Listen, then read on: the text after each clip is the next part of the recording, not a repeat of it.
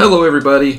This is Mr. Rob, and welcome back to another episode of the Athletics franchise here on MLB The Show 24. As we have reached an exciting point in the middle of the season, it's the All Star break where we take a look at some of the All Stars and stuff like that. Before we even get there, there's one thing we got to cover. That is the MLB draft. It is time for the 2025 MLB draft as we'll get to take a look at the newest A's players that are getting ready to join the organization. It is our second draft in the series, which is kind of exciting. So today, before we get to the draft, we're going to look at 38 prospects who I believe could potentially be future A's and even future big leaguers around Major League Baseball. So I'm excited for this one and getting to learn some of these prospects. Make sure you drop a like and you subscribe down below, especially if you want more baseball content.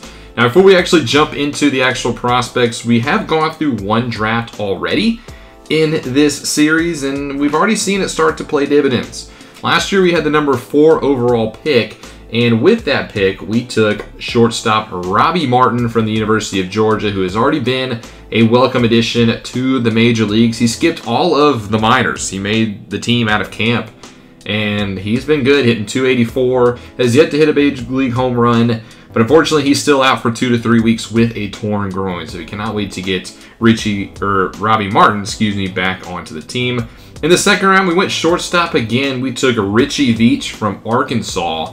He's been down in AAA, started the season in AA. Hasn't played all that well in AAA, but could potentially be a call-up in the near future. He's progressing, other than his contact versus lefties, um, pretty nicely so far. Other players we took, we took in the competitive rounds, balance round B selection. We took first baseman Angelo Jaquez, who has split time so far between a double A and triple A. He's got deep potential, but he's got a very solid bat, so maybe he could one day make a DH. Third round last year, we took Robbie Francisco, who's one of our top prospects now. He's been tearing it up in double A with a 207 ERA in that span. He's had a short stint at triple A. It wasn't as good as his double A stint, so been keeping him down here with the Rockhounds, but he could be a major leaguer at some point, especially if we need help at pitching. His 9 velo could potentially be that guy. Fourth round, we took Luis Pereira from Florida Atlantic, another starting pitcher who is in single A. He's a 56 overall B potential guy. He's got a long ways to go. And then in the sixth round, or the fifth round, we took starting pitcher from Stony Brook. We took, um, where is he at? Sean Arieo. Arellano, sorry, cannot speak. Uh, he's been at Double A as well. He's been pitching pretty solid. And then finally, in the sixth round, we took a reliever from the Netherlands. We took Luis Del Villar, who has been in um, single A. So that was our draft picks last year. So let's take a look at some of the prospects in this draft class, shall we? Now, before we go position by position, I do want to take a look at the top five players in this draft class. And I feel like this is a very interesting draft. I don't think it's really that loaded. I think this is overall a weak class. But if there was one area that shows out more than others, it is the pitching. There is a lot of good pitching prospects, which will spend most of this preview in, including the top prospect in baseball, Ronald Castro, a closing pitcher from Puerto Rico who's got really good stuff could potentially be a closer for the future. I don't see him needing a lot of time in the minors as well. As the Mariners do have the number one pick, it could go Castro. Um, unfortunately, though, he is injured, so he failed his physical, so maybe that will help him to slide down boards. And if he was the number four pick, we might end up taking him. The second guy is starting pitcher Aaron Berry from Murray State JUCO College in Oklahoma. There's a lot of top guys going the JUCO route in this class, which is an interesting take, but he's a very good, well-rounded pitcher. Uh, doesn't have the best break, so to speak, as he throws a fastball, a sinker, a changeup, and a cutter. So no looping curveball, but another very good starting pitcher. Easily probably the best starting pitcher prospect in this draft class. Um, so he could definitely go in the top five. I don't see him falling to us at four, unfortunately. Then we see Randy Irvin as well from Ohio State. He's I would say almost on par with Barry. I do think Barry is slightly better than Randy Irvin, but another guy who could have really solid potential. Maybe might need only one season in the minor leagues before he gets up. Great strikeout rate. Everything else is pretty solid and above average across the board, and he should be able to go deep into ball games. Then we have closing pitcher Javier Aparicio from Indian Hills Community College, the JUCO college in Iowa, as he's another guy who's a very good closer. Um, 21 years of age. He should have pretty solid potential. Probably more of a wild card between these top guys. We haven't really scouted him, so to speak, but his stats look good. Not going to win you away with his velo, though. He's got a fastball, a splitter, and a changeup. Fastball is only topped out at 95. But overall, he should be a solid relief pitcher. Just, do you want to go relief pitcher at the top? Not sure I would. And then finally, rounding out the top five is the only position player at the top, Dan Leon, a 19-year-old from Venezuela who played a year just on a travel team for the country. He's more of a defensive guy, I would say. He's not as well rounded with the bat, so I don't know if he's necessarily a top five in my book, but he's apparently listed top five by our scouts and top six by baseball. So something is there with Dan Leon, but I don't know if I'd make him a top five guy. We'll go by position now, starting off with the starting pitchers. Like I said, we'll spend majority of our time here. We've already seen Barry and Irvin. Another guy to look out for is Ron Maryville. He's a guy who could be a steal and we could potentially take. He's listed as 37th in baseball, but we our scouts have him as 6, so he could go to us especially since we need some help in the pitching. He's an 18 year old from the Dominican Republic who should have pretty solid potential. He's got good velo already on his pitches. There's a fastball, a slider, a changeup, and a sinker. Um, you know, like I said, our pitching staff needs help, and Ron Merriville's a guy that could potentially be a good starting pitcher for the time being, or for the long term, I should say. Other starting pitchers, though, in case you didn't want him, there's Jacob Shepard, a 20 year old who went to Tennessee Community College, another Juco guy. Not as well rounded as some of the other top pitchers we've seen, but he's another guy who should go in the first round. His strikeouts and his pitch control is a little lower, but it, his walks and hits are pretty solid, which is something that we have struggled as in the organization. Then you go to Rico Duarte, guy we've almost fully scouted from Cuba, who our scouts have better than where a lot of people rank him. We have two picks in the top 40, so maybe is if he slides to the second one, we could go with Duarte. Another solid pitcher, maybe even a little bit better than Shepard. A year younger as well, 6'4", a tall body as well. Won't strike out a ton of batters. He's got a fastball, a slider, a fastball, and a changeup. But uh, another guy, a guy we've scouted Foley's asking for 1.8 million in bonus demand, could be our second first round pick. And then you also go down the board as well. There is Ellis Hutchins, a guy we've fully scouted. He's actually ranked the fourth best in baseball, but our scouts have him at 25, and I think that's a good spot for him. He went to Westmoreland County Community College, another JUCO pitcher in Pennsylvania. I don't think he's as polished as some of the other guys, and I don't know if he will really fall to us because we have the fourth pick and the 40 pick. So there's a lot of guys in that 20-30 range who we're not going to talk about today that will probably just not be available for us, and I don't want to reach for them, and I don't think they'll slide. So some of those guys we are missing out on. Ivan Rosales is a guy who's ranked draft 93, but our team has him at 32, an 18 year old from Venezuela, and I do like what I see here. He's got very good stuff up and down the board. 6'2, throws righty. He has a fastball, a curveball, a slider, and a two seamer. He's just, like I just said, in that weird category where his draft rank is a 93, but it doesn't necessarily mean he's going to fall there. A lot of teams will go after the guy they want in MLB The Show, and if he's ranked 32 for us, I don't know if he'll fall to those 40 picks that we had, because we had the 40th and the 41st pick. I would love to make one of those picks, Ivan Rosales. I just don't know if it will be able to, but I would like to see him in our organization. Next starting pitcher is Jason McFarland. Uh, he's another guy who outperforms his ranking. He's from New Life Christian Academy High School in North Carolina, so high school pitcher uh, who's pretty solid. Again, just falls in that same category, kind of like Rosales. Not probably as good as Rosales, but just 70 ranked, but in the 30s in terms of our draft rank. I don't know if he would for sure be a 40, 41st pick for us. I would like to see him slide to our second round selection but at least he's got a pretty safe potential. He's a guy that you know is not going to be worse than a C. So I don't know if Jason McFarland will be on the team, but he will should be a good pitcher for somebody. Johnny Tatum's a guy that I like a lot. Now he is in that range that could potentially be with one of those two selections. A senior from Alabama. He's got very good velocity, break, strikeouts, and walks. So basically, he's inverted with a lot of the pitchers we have. A lot of guys Uh, a lot of guys that we have give up a lot of hits and walks. This guy doesn't give up any walks. He throws five pitches as well: a fastball, a slider, a changeup, a curveball, and a cutter. He's a little bit of a wild card in terms of his stats not being there, but he is a four-year senior, and his potential at the lowest is an 88. I feel like that's hard to pass up. Yes, he's on the older side, but if you want a surefire good pitcher, Johnny Tatum could be your guy. He did also opt out of his physical dose. that is a little scary, and that might be why some teams aren't on high on him. Go a little bit deeper. We got Pete Lockett in the 60s. So this is where we started to get into the second, third round selections. He is from the University of Southern California. Solid pitcher up and down the board. We didn't really scout him that much, but you know, a pretty solid middle of the round guy to look out for. Jose Iglesias, we did scouts. He's a lot like Tatum. He's got a pretty solid potential. Yes, he's already 23, hailing from Cuba, but again, if you just want a pitcher who should be a surefire thing in these later rounds, Jose Iglesias could be that guy. He could be in that same range that we took Robbie Francisco. Last starting pitcher we'll take a look at is Kirby Ladd, a guy who was not ranked by a lot of scouts, but is in our top 69. He's a solid, you know, B potential guy.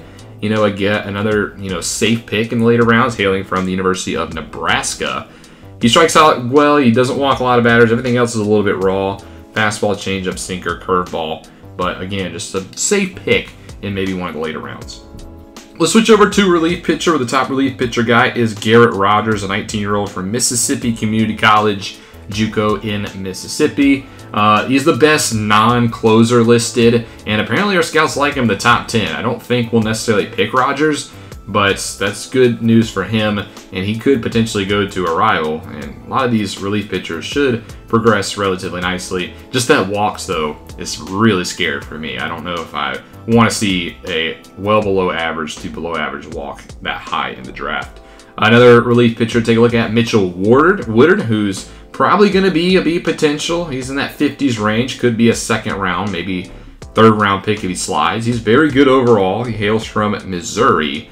So I do like him a lot, 23 years of age. There's another guy from Missouri, his actual roommate as well, Omar Marquez who is probably not as good as his roommate in Woodard, but another guy you could take in the later rounds and be a pretty sure thing. He'll need some time to grow, but he doesn't give up a lot of home runs. He's very elite in that category, and his hits is pretty solid as well. Walks a little low, but you know that's kind of what you expect sometimes in the later rounds. Going over to closing pictures, there's no other closing pictures that I like other than the top two that are in our thing. And then we get over to the batters, the position players, which I feel like this is where the class is really weak. There's not a lot of top so-called like hitters in this draft class. I mean, we only have two catchers that we've actually found in the class. Gary Coggan being the top one from Faith Christian Academy in Pennsylvania. He should be a top catcher, but I feel like we're pretty deep at catcher, which is why I didn't scout much. We have Langeliers, Soderstrom, and then Daniel Susac in the minors who should be up at some point. So not really going to talk much about the catchers. First base, Ryan Noda's been playing pretty good, and there's not many good first basemen that I like. Charlie Rowe is the top guy, and I think he's a solid bat overall, especially being 18 years old from Jamaica. He's got some room to grow. So I think some team that needs a first baseman should take Charlie Rowe. I don't think we will, though, however. I'd like to see a little bit more power at our first base spot. So not really much to talk about at first base either. Second base, we got Vernon Esquivel who leads the way over there. You know, Zach Gelof is young. He's coming off of an all-star season. So not necessarily sure if we need any middle infield depth as well, considering we drafted our top two guys at shortstop last season. Uh, and he's an okay bat. He should be pretty solid for contact. Another second baseman, though, that I do kind of like is Domingo Cuevas, who's right behind him. Him or Esquivel could be the top two second baseman off the board. He hails from Cuba. A very fast player, good contact bat my opinion, maybe even better than Esquivel.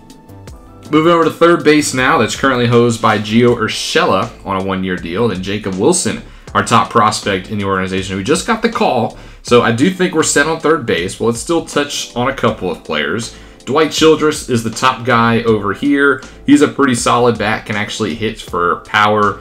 5'7 as well from Severn Point High School. So very interesting that the five seven guy is one of the best power hitters we've seen so far, but he hits lefties really well.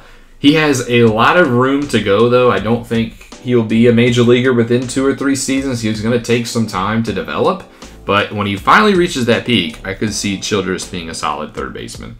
He's probably not my favorite third baseman, though. I like DJ Mars, especially as maybe a second, third round guy. He comes from the University of Kentucky. You know, he's got a very good power bat. Not necessarily the best hitter, but he can hit some dingers also at 5'7. So we got some short third baseman in this class. So if you just want a power bat, maybe even play him at DH, DJ Mars could be a guy. Also, there is Maxwell Sosaya from uh, Corona High School in Kentucky as well. I think he's probably my favorite of the third baseman. You know, he hits lefty, very good power, good contact, good vision, good discipline. Gonna need some work in the minors, but especially in that 100 range, that is like third, maybe even fourth round. I can see us taking Maxwell Sosaya at that point. Shortstop, I'm not really looking at shortstops this year considering we took top two of our picks last year were shortstops, and as well as having, you know, Daryl Hernandez there as well, and then a couple of other shortstops. Nick Allen there. I don't necessarily Logan Davidson technically is listed at shortstop, so not necessarily in need of a shortstop, but Robbie Whitey is the top guy. He's a very good shortstop, very good defensive glove from Northwestern. He hits from both sides of the plate as well. So, you know, he's a very good prospect, just not a guy that we need. Uh, Edgar Aquino is another shortstop to look at, maybe a little bit down the board towards the end of the first round. He hits better than Whitey. He's an 18 year old from Cuba, 5'7, another short guy, can play some defense. So, again, needs a little bit of work with what he has, but it could be a better prospect than Robert Whitey.